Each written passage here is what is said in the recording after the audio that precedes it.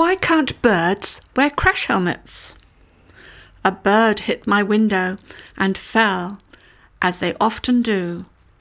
This is a made up story with a warning for us. Why can't birds wear crash helmets? One day I heard an awful crash on the window pane and saw a bird fall to the ground with a thud and then no sound. I rushed out and found a little bird lying crumpled and still on the ground. Oh, why can't birds wear crash helmets?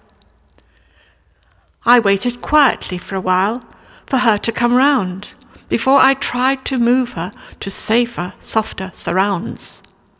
It was wonderful to see how perfect and beautiful a little bird could be. Slowly she started to awake in a very dazed state.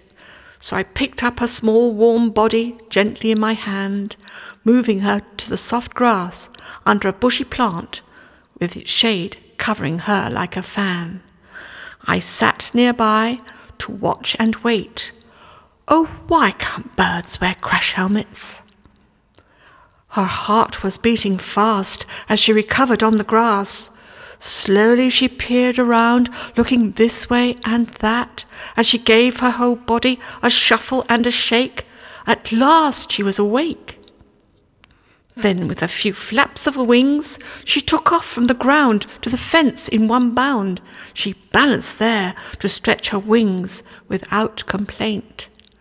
Before she finally left, a chirp of thanks to me she made.